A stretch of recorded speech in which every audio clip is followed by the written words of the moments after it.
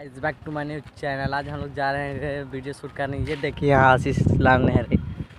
जा रहे हैं आज हम लोग वीडियो बनाने।